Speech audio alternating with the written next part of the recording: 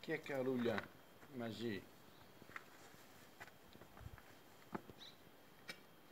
Το ησυχαστήριο αυτό, Ευαγγελισμός του Θεοτόκου, είναι στην περιοχή Καρουλίων. Από εδώ και κάτω αρχίζουν τα καρούλια, η περιοχή δεξιά μας όπως δείχνω. Ενώ η άλλη περιοχή μπροστά και αριστερά μας λέγεται Κατουνάκια. Είναι μαζί αυτές οι δυο περιοχές. Κατουνάκια και Καρούλια.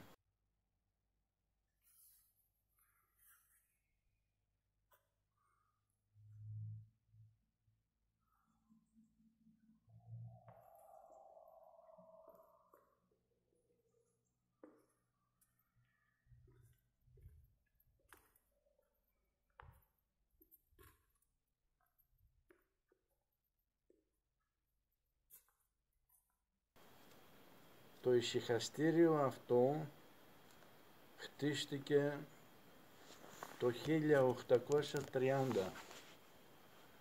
από τον πρώην Διονυσιάτη Νικόδημο λόγιος μοναχός που έφυγε από τη Διονυσίου και ήρθε και έχτισε αυτό το ησυχαστήριο ως λογιότατος είχε και έφερε όλα του τα βιβλία εδώ. Κατόπιν είχε συνέχεια πάλι από Διονυσιάτη μοναχό άνθιμος ο δεύτερος που ήρθε. Πριν όμως χτιστεί το ησυχαστήριο όπως βλέπουμε υπάρχει αυτό το σπήλαιο. Σε αυτό κατοικούσανε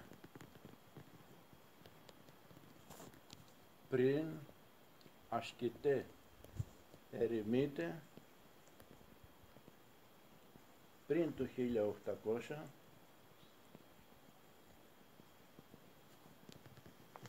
και είχε μονοπάτι. Από εδώ όπως δείχνω. Από εδώ.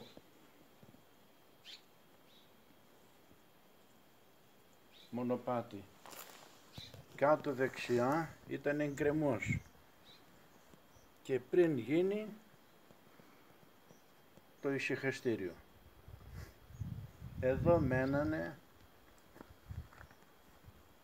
ζούσαν με παξιμάδι και νερό βρόχινο όπως βλέπουμε μέσα η σπηλιά από τη βροχή στάζει.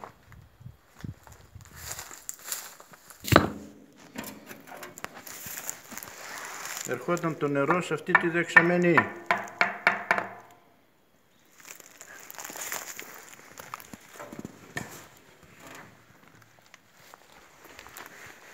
Βρόχινο νερό.